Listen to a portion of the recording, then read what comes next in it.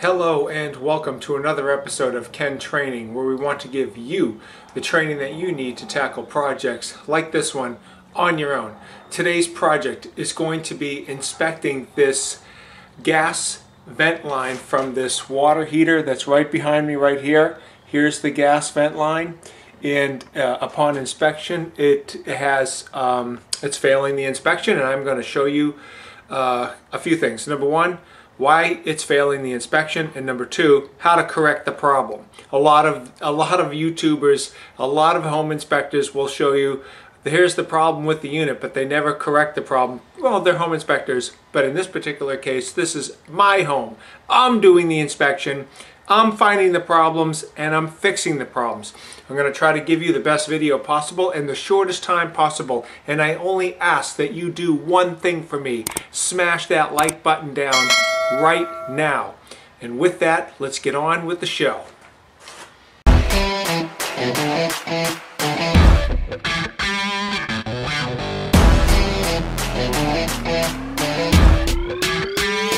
The blue represents a joist that uh, is running this way here. So don't worry about that pipe support hanger. I just have it off because I'm doing drywall patch and paint and I haven't even put the primer on.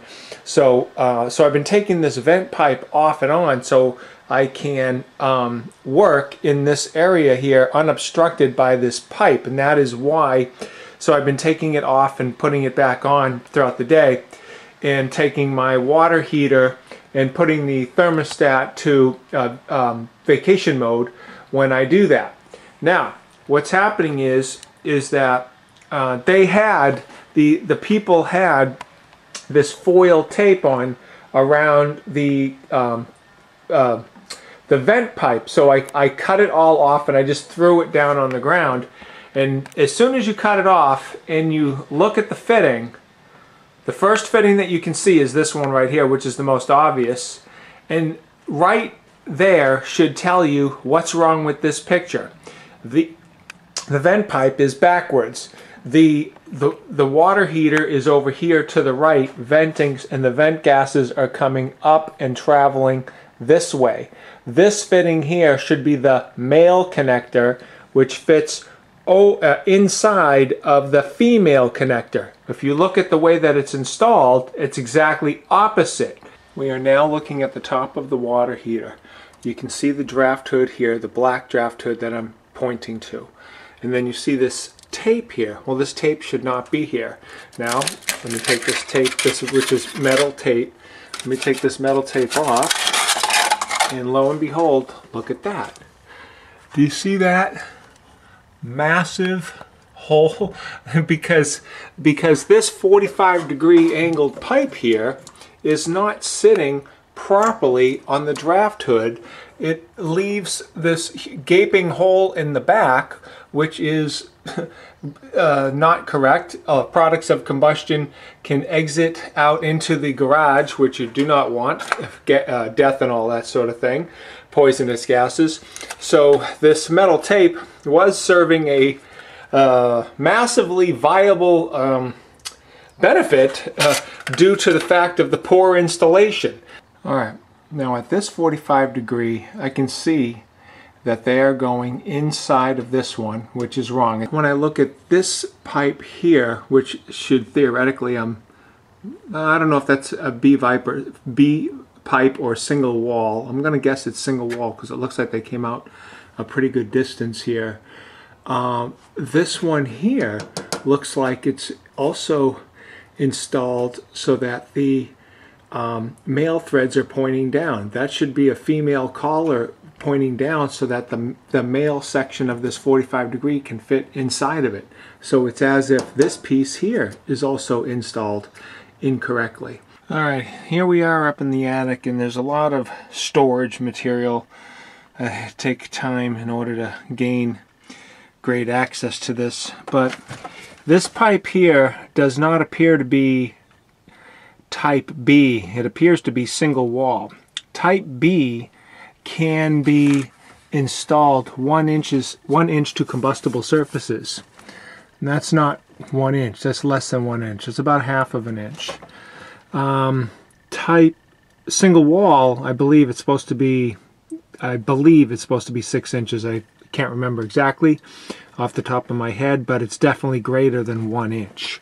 So that would be incorrect. That would be a failure.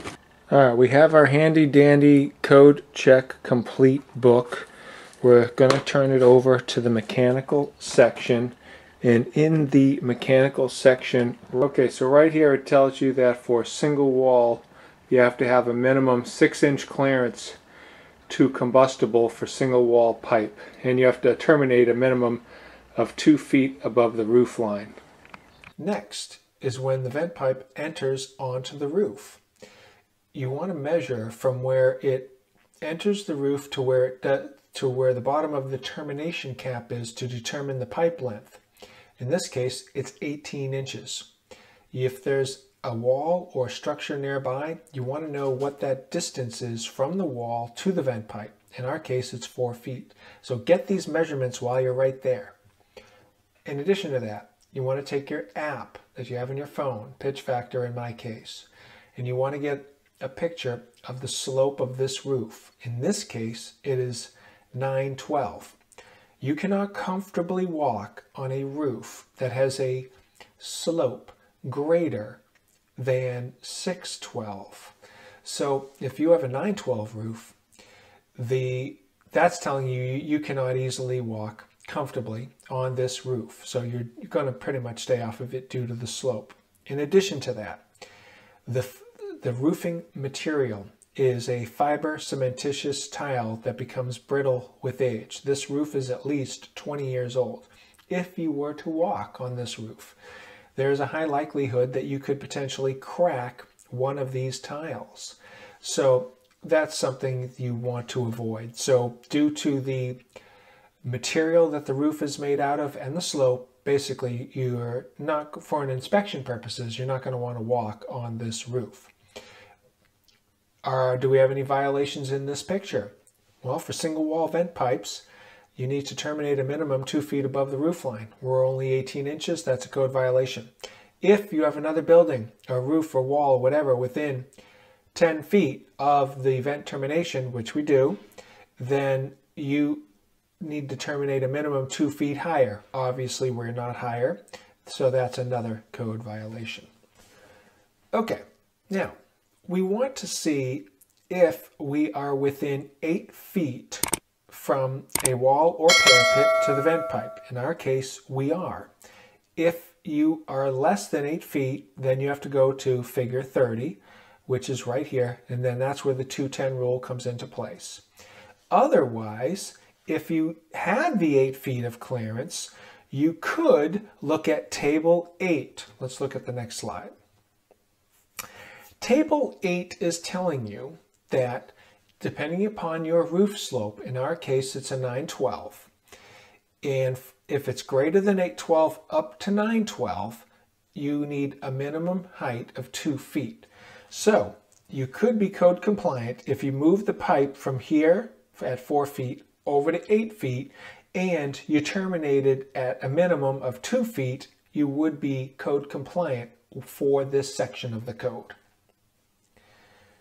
Now, this is taking all the pitch uh, pieces of the puzzle and stitching it all together in one frame so that you can see exactly what the distances are. And the reason why is because the code wants to know what the height is from the flue collar all the way to the vent termination cap. In our case, it's 17 inches plus 23 plus 18, which is right here, 58 inches. Single wall metal pipe shall terminate not less than 5 feet in vertical height above the highest connected appliance draft hood outlet or flue collar. Well, guess what? We're 58 inches. You need to be a minimum of 60 inches. That's a code violation. We missed it by just that much. Next slide. All right, now we want to see if we meet this section of the code, length of vent connector. This is the vent connector here. Single wall connector, and we know it's a single wall connector. The maximum horizontal length of the single wall connector. It really should say the maximum horizontal length of the single wall connector shall not exceed 75% of the height of the chimney or vent except for an engineered system. We are not an engineered system here. and the vent pipe, I allocated three inches uh, for the distance of where we turn here to the ceiling, which is that three inches right there. 23 inches, we already know, and 18 inches, add that all together equals 44 inches. I took the 44 inches and multiplied it by 75% or 0.75. That equals 33 inches. Our vent connector is 65 inches. It is not supposed to exceed 33 inches and it's almost double that. So this is a code violation. We need to know terminology when we communicate. You have the water heater. The water heater discharges, the natural gas water heater discharges out to a draft hood. The draft hood is at the top of the water heater. That connects onto a vent connector, which is this pipe here. The vent connector connects onto a vent or vent pipe. So don't call the vent leaving the roof as of the vent connector and don't call this pipe over here, do not call it the vent because it is the vent connector. So when you look at your code and it's talking about single wall vent, what they're talking about is single wall vent is this here. This is the vent. You have to, so make sure you get your terminology down. Now we're looking at pictures and determining if we're within code. You have a vent connector. It's installed on a slope.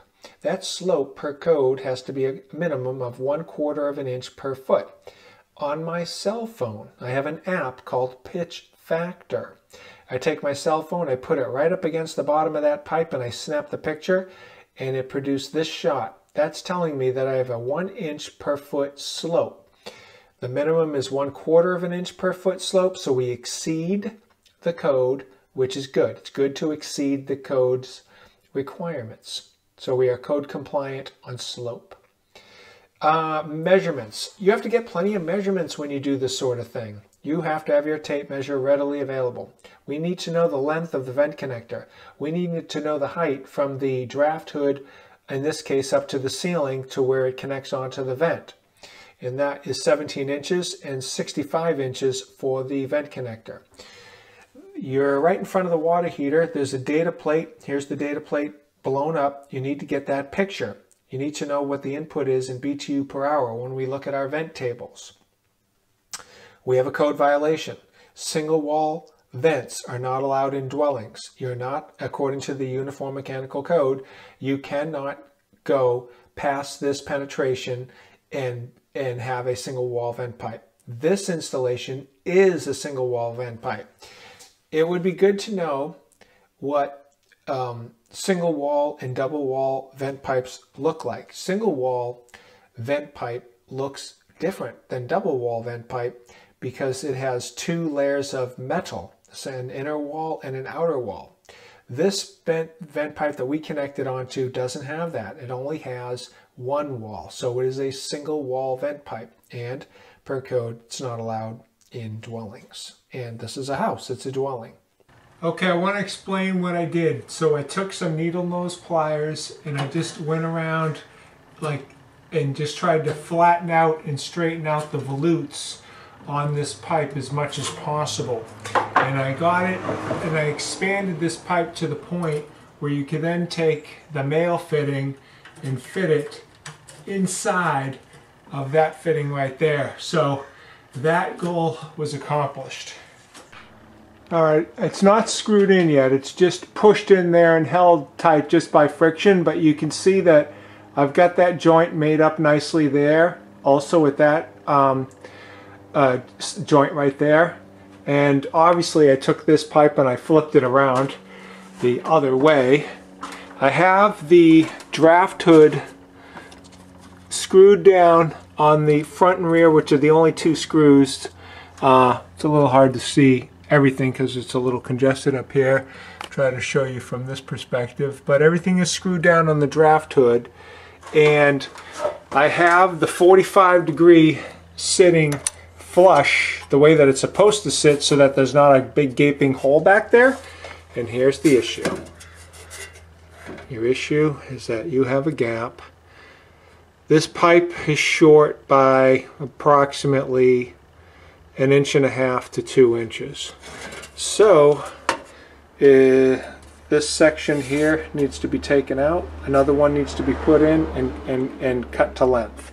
And then we'll be good to go. And uh, yeah, we'll be we'll be like 100%.